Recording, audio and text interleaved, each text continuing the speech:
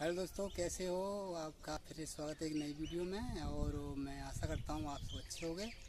और मैं इस वीडियो में आपको बताऊँगा कि ये हमने छत पर कुछ पौधे और कुछ कुछ फ्लावर्स लगा रखे हैं बच्चों ने, और अपने घर में कुछ सब्ज़ियाँ उगा रखी हैं अपने टेरेस पर।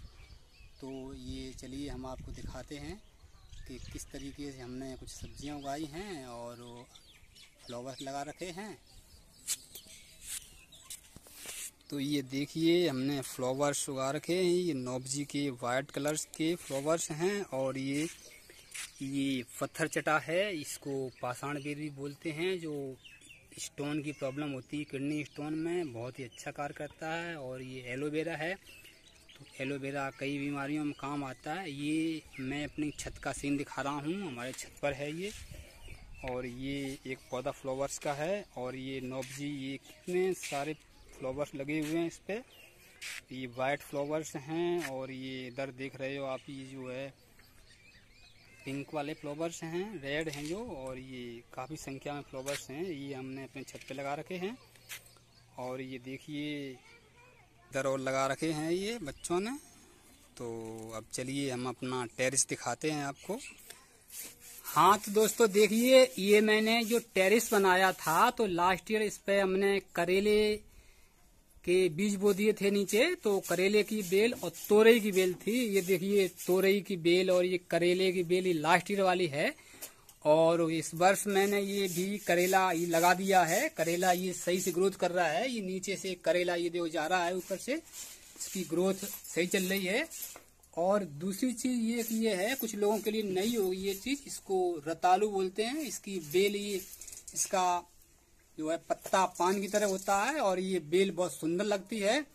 तो ये भी मैंने लगा रखा है। इसका जो कंद टाइप का निकलता है, वो ज़मीन के अंदर निकलता है। मैंने ये अभी जब ये खोदा था तो करीब इस एक बेल से करीब दस किलो सब्ज़ी निकल आई थी ज़मीन में।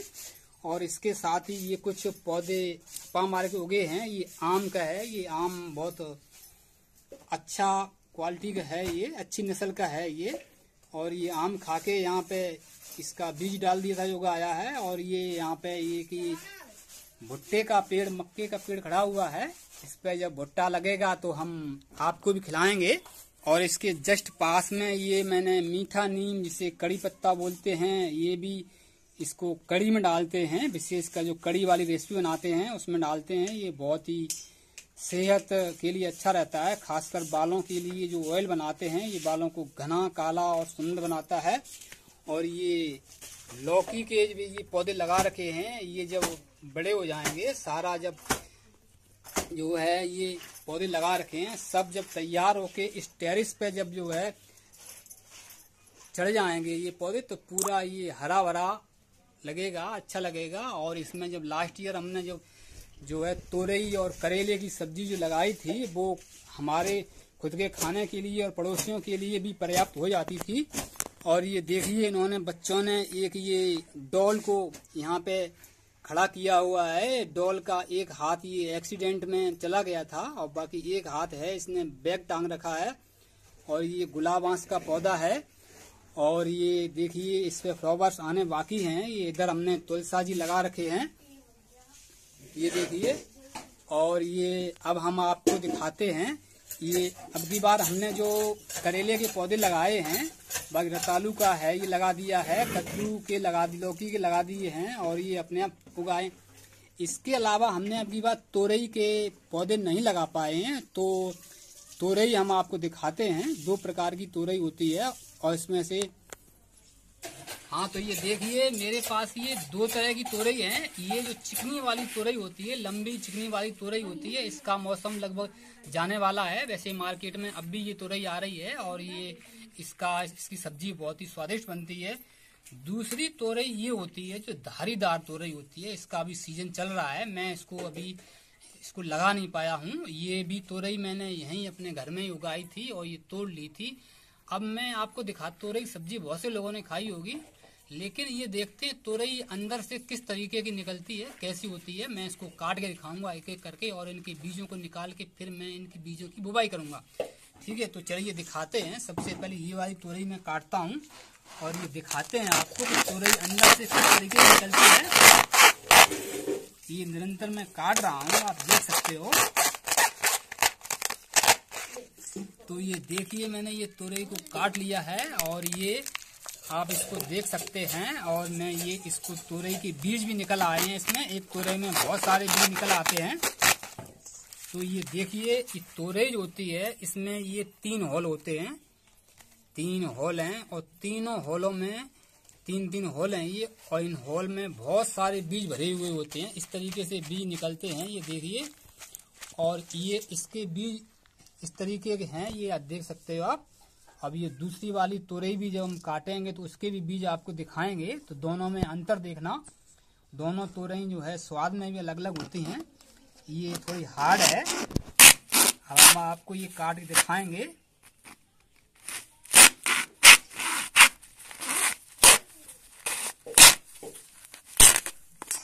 अब ये देखिए, ये भी तोरई मैं काट चुका हूँ। इसमें भी बहुत लंबे चौड़े चौड़े हॉल हैं। ये देखिए तीन तीन हॉल इसमें भी हैं। और इसके भी देखिए आप इसके बीज इसके बीज इस तोरई के अपेक्षा थोड़े मोटे और चिकने बीज हैं। साइनिंग है इसमें थोड़ी सी और इनमें साइनिंग नहीं है ये थोड़े छोटे हैं। तो अपनी अपनी पसंद है किसको कौन सा बीज जो है पसंद आएगा कौन कौन सा बीज बोएगा। अब मैं ये बीज बोऊँगा आपको रुकना। और ये मैंने ये इसमें से अच्छे अच्छे बीज में ले लेता हूँ और फिर ये बीज यहाँ पे लगा दूँगा। और ये जब पूरा तैयार होके जब हरा भरा हमारा टेरिस जब हो जाएगा, और जिस पे ये लौकी, तोरई और ये करेले जब लगने लगेंगे, फिर भी हम एक बार आपको दिखाएँगे। चलिए इन बीजों को बो देते हैं हम यहाँ पे।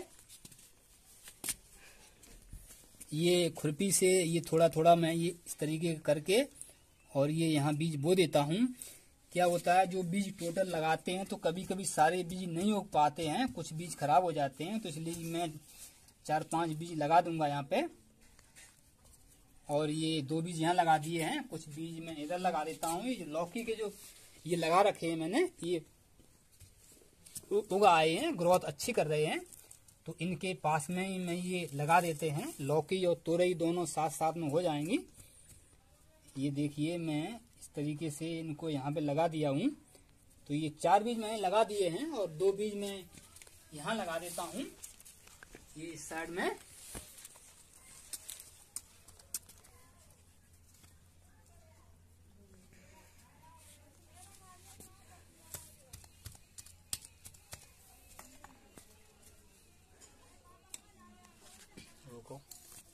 हाँ दोस्तों, मैंने अपने घर का ये टेरेस दिखाया है आपको और छत पे जो फ्लावर्स लगाए थे वो आपको दिखाए हैं मैंने।